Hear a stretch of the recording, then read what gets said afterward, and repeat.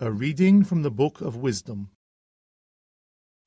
Love virtue, you who are judges on earth. Let honesty prompt your thinking about the Lord. Seek him in simplicity of heart.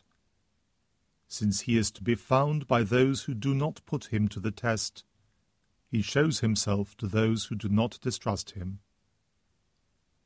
But selfish intentions divorce from God and omnipotence put to the test confounds the foolish.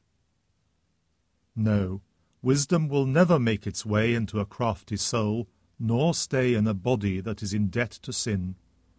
The Holy Spirit of instruction shuns deceit, it stands aloof from reckless purposes, is taken aback when iniquity appears. Wisdom is a spirit, a friend to man, though she will not pardon the words of a blasphemer, since God sees into the innermost parts of him, truly observes his heart, and listens to his tongue.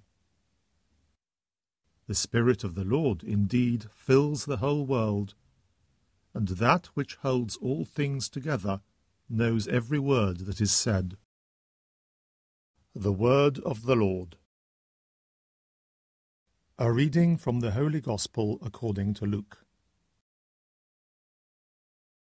Jesus said to his disciples, Obstacles are sure to come, but alas for the one who provides them.